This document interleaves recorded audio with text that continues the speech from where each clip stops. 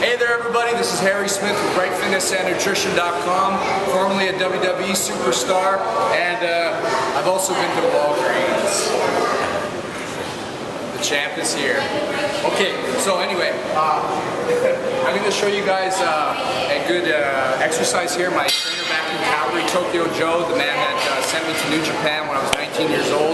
It's a great exercise for uh, uh, building uh, your balance in your core and also pushing out. So what you do here is you take a 45 pound plate or maybe a 25 pound, depending on your strength. Grab it like this here. Uh, sometimes they, uh, certain gyms, they have a little bit fatter of an end here, so it's easier to grab. You can see there. And I also like to play frisbee with these with my friends. okay, so anyway, you take it out here like this, squat down, push it out. Now when you squat down, don't do this and rest it on your knees and push it out like this. It's not good. You gotta push it out here.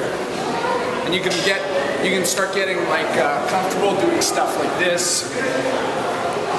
But just do a set of that, maybe like 10, 10 12 reps and uh, should get a pretty good burn.